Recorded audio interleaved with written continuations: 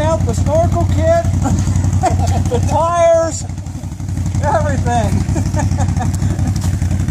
Is that the deepest you've had it? I got stuck in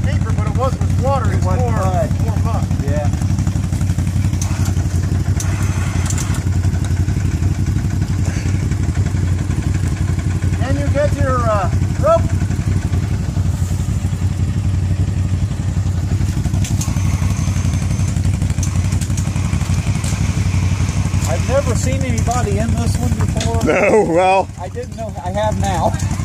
if he can't get through it, nobody's going through it. No way.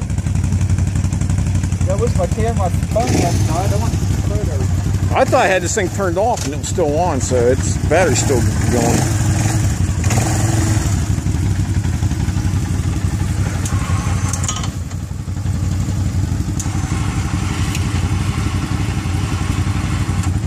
I'm probably trying to back up to where it's still dry ground.